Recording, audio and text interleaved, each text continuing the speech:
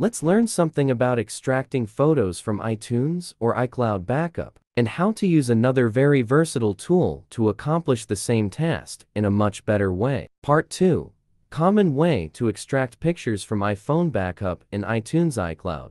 How to extract iPhone photos from iTunes Backup directly. Install the latest iTunes. Connect iPhone via USB.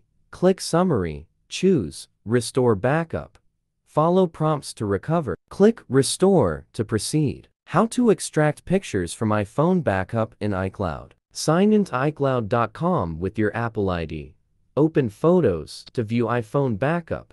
Select Photos and click Download. Part 3. The easiest way to extract photos from iPhone backup. A third-party program called Mobikin Doctor for iOS, which provides you with the most Effective way to extract photos from iPhone backup on Windows and Mac. How to restore only photos from iTunes backup without iTunes. Open iOS Recovery. Select Recover from iTunes Backup.